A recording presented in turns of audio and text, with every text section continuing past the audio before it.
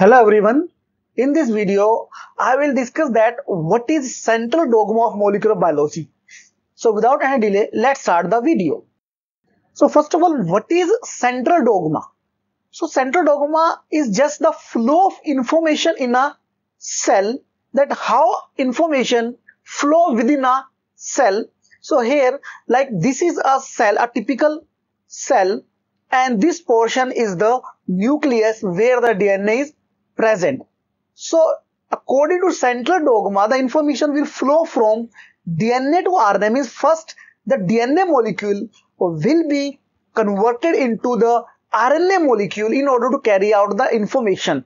So the first is the information moves from DNA to RNA and then from this RNA now the information will be moved to proteins or you can say the information will be in the form of proteins. So this is the central dogma where the information or the biological information moves from DNA to RNA and RNA to protein. So this is the central dogma that DNA forms RNA and RNA forms the proteins and these proteins now carry out the different functions. So here the flow of information is from DNA, then RNA and protein. Now, what are the key processes which are involved in the central dogma? So, there are basically three processes are involved. First is the DNA replication, then transcription and the protein translation. So, in the DNA replication, the DNA gets, you can say, multiplied. It produces identical copies of itself, while in the transcription, this DNA is converted into the RNA, and while in case of translation, this RNA is converted into the protein. So these three are the key processes that involved in the central dogma. Now there are certain exceptions to this central dogma. First is the reverse transcription.